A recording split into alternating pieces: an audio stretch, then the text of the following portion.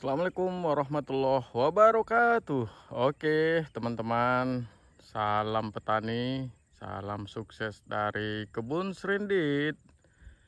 Oke hari ini kita bahas ini ya.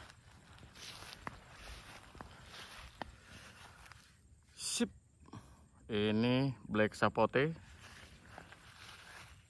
Besarnya masih ya sejempol kaki lah batangnya gitu ya tapi ini buahnya sudah banyak sekali. Dan ini insya Allah jadi nih lihat nih. Belum bisa dicabut bunganya. Nanti kalau bunganya udah copot baru dia menjadi buah. Oke kita ada 10 batang ya black sapote. Kita cek deh satu-satu ya ini ada buah satu teman-teman. Nih. Wah sebesar ini nih. Sebesar lebih besar dari bola pingpong ya. Tapi belum sebesar bola tenis. Oke nanti kita bahas bagaimana kami merawatnya nih. Batangnya baru jempol kaki lah. Oke ini yang tadi masih kecil-kecil buahnya ini sudah sebesar uh, lebih besar dari bola pingpong ya. Kita gerak lagi. Ini ada juga nih buahnya. Wuh, ada buahnya. Ada dua ini bisa lihat nih uh, satu lagi. Ini kemarin banyak ya tapi memang kita rontokin hanya coba pelihara dua. Tapi ini keluar lagi nih bunga nih. Keluar lagi. Ya mudah-mudahan selamat. Ini secara batang lebih besar dari yang tadi ya tapi lebih pendek karena ini dia pucuknya putus waktu itu ya. Waktu kita tanam memang oh, sudah potong pucuk. Kita lanjut lagi. Ini yang berikutnya ada juga dua buah di sini kalau nggak salah ya. Kita lihat ini satu sama besarnya ya. Ini lebih kecil sedikit dari yang tadi. Ini satu lagi di sini. Wah mentep. Kita lanjut. Ini tingginya paling nggak nyampe sepinggang ya. Sepaha lah tingginya ya. Oke ini ada nggak ya? Oh ada satu. Nih ada satu teman-teman. Wah ini besarnya sama. Sama yang sebelumnya tapi belum ada bakal buah lagi ya. Belum ada nih tapi dia udah keluar tunas muda apa daun muda. Oke berikutnya ini yang paling besar. Ternyata ada tiga teman-teman. Ada tiga buah nggak tahu nih selamat nggak tiga-tiganya nih. Dan masalahnya dia satu dahan nih satu ranting. Nih besar. Nih di dahan yang sama. Di dahan yang sama ini black sapotenya. Nggak tahu nanti ini bisa selamat atau tidak nih. Nah kita lanjut ke sana ya. Ini ini kalau nggak salah ini ada dua pohon yang tidak berbuah ya. Ini terhambat nih pertumbuhannya karena ini nih interestnya nggak bagus waktu datang. Jadi ini terakhir ditanam nih. Betul-betul sembuh dulu baru kita tanam. Ini satu lagi. Nah ini yang paling sadis nih. Pohonnya paling kecil tapi juga sudah berbuah teman-teman. Lihat nih ha ini bentar ya. Uh,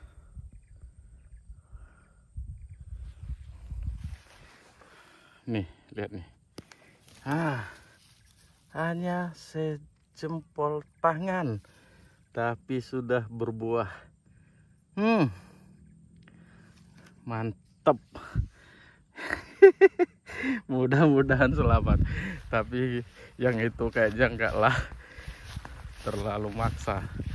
Nah ini berikutnya. Ini sepertinya enggak ada yang buah besar Oh ya nggak ada ini kemarin gugur. Tapi ini udah banyak nih bakal buah. Tuh. Bisa dilihat. Di ketiak daunnya sudah ada nih banyak. Hmm. Udah banyak. Oke. Kita ke berikutnya.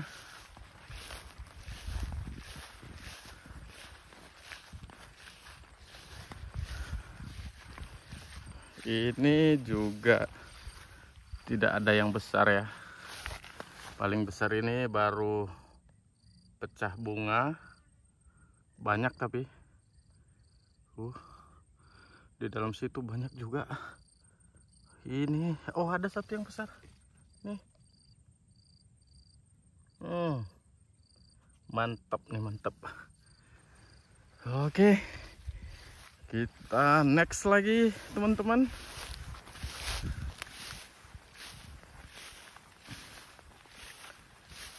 Ini juga kecil ya secara batang ya.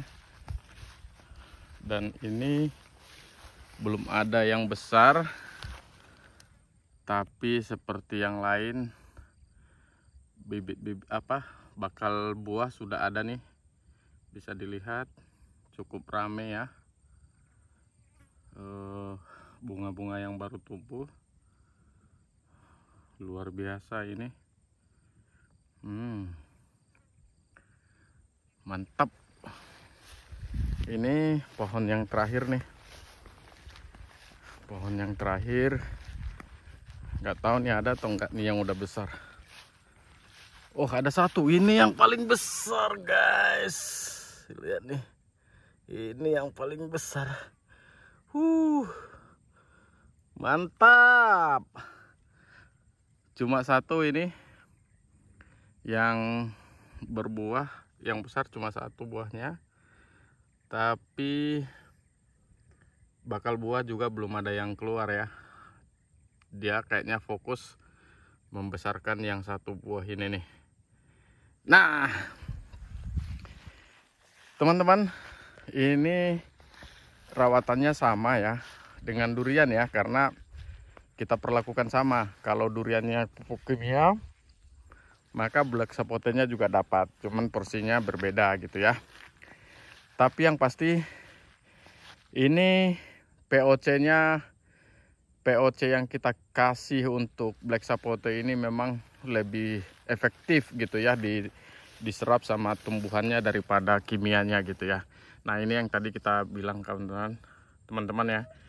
Ini begitu bunganya udah bisa ditarik nih. Set. Oke.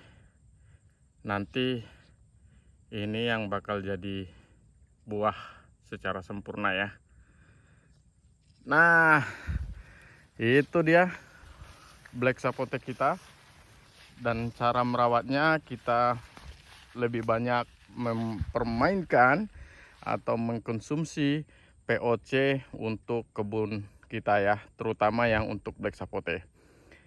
Nah, itu dulu teman-teman. Mudah-mudahan black sapotenya segera berbuah dan matang gitu ya. Selamat. Nanti kalau bisa berbuah dengan baik